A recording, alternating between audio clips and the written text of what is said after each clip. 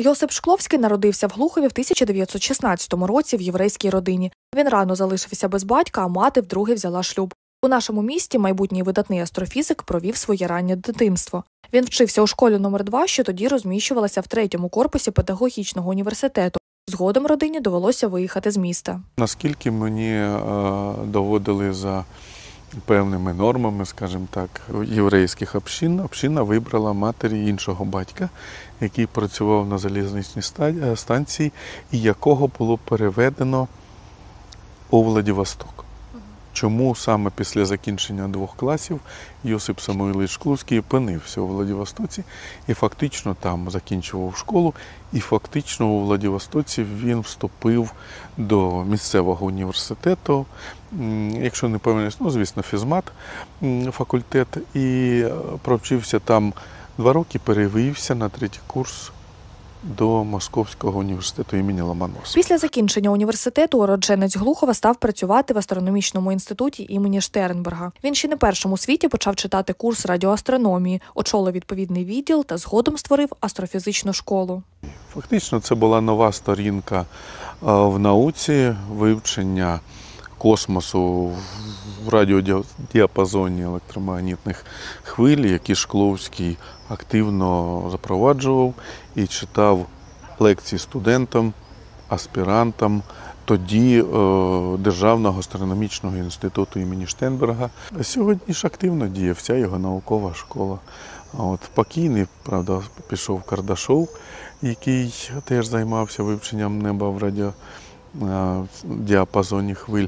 Там же цілий інститут працював на цю тоді ще нову ідею залучення пристроїв, які б могли улавлювати радіохвилі, які йдуть з космосу, відповідно аналізувати спектри випромінювання, спектри поглинання. За словами Бориса Олександровича, дослідження та відкриття Шкловського були по-справжньому новаторськими. Це глиба.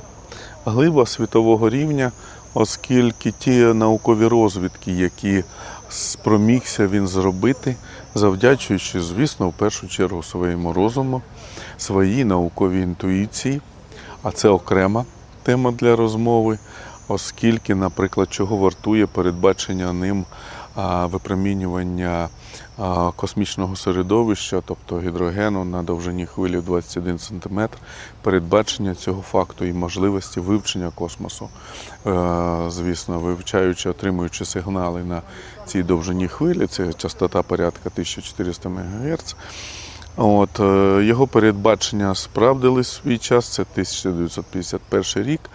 Е, Людина, яка активно вивчала сонячну корону, ввела декілька серйозних наукових термінів. Попри всі досягнення, у колишньому радянському союзі Йосип Шкловський так і не отримав статус академіка. Йосип Самуїлович Шкловський, будучи представником єврейського народу, в принципі, за це в свій час отримував певні, е, скажімо так, е, негативне ставлення до, цього, до себе з боку науковців, академіків, чого варто от на дошці, яка знаходиться за мною, написано член кореспондент Академії наук колишнього Радянського Союзу. Хочу сказати, що 9 разів він вибирався в академіки, уявіть собі, 9 разів. Не кожна людина психологічно витримає такий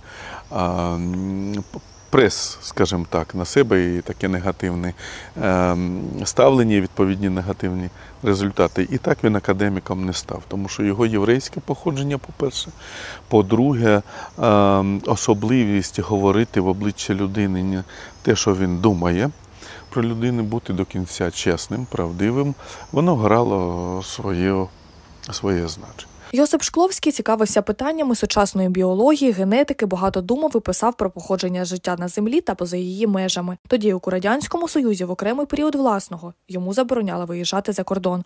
Попри це, він активно листувався з американським астрономом Карлом Саганом. Американець зацікавився гіпотезою Шкловського про вимирання динозаврів унаслідок спалаху над нових зірок. Під час спілкування вони зрозуміли, що обидва досліджують тему позаземного життя. Про це Шкловський написав книгу Всесвіт життя розум, яку згодом розширив та видав у Штатах Саган під назвою Розумне життя у всесвіті. Видатний астроном написав, і я перечитав декілька разів видатну науково-популярну книгу Життя разом.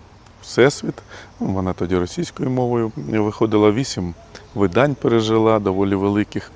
От, і читається, як кажуть, на одному подиху. У 1977 році в США створили ґрунтовну програму під назвою Сеті, яка брала до уваги в тому числі дослідження Йосипа Шкловського і його колег. За 10 років до цього вони провели ряд пошуків за допомогою всенаправлених антен, сподіваючись вловити потужні радіосигнали в космосі. Суть цієї програми сьогодні залишається незмінною. Необхідність регулярного відстеження неба в різних радіодіапазонах і напрямках, щоб за допомогою комп'ютерних програм відокремити серед космічних радіошумів явно штучний сигнал інших цивілізацій. Карл Саган і Йосип Шкловський припускали, що розвинені інопланетні цивілізації могли навмисно розміщувати на своїх зірках незначні і явно штучно виготовлені елементи, щоб привернути до себе увагу. Якщо уявити собі, що ми відсікли використання космосу взагалі, ну я не думаю, що ми опинимось десь там у суспільстві на багато тисяч років назад, розумієте? Тому космос активно використовується.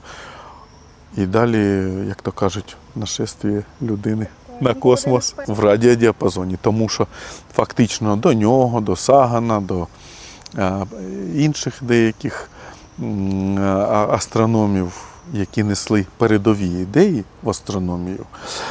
І, скажімо так, спосіб вивчення неба в радіодіапазоні електромагнітних хвиль він не фактично не розглядався.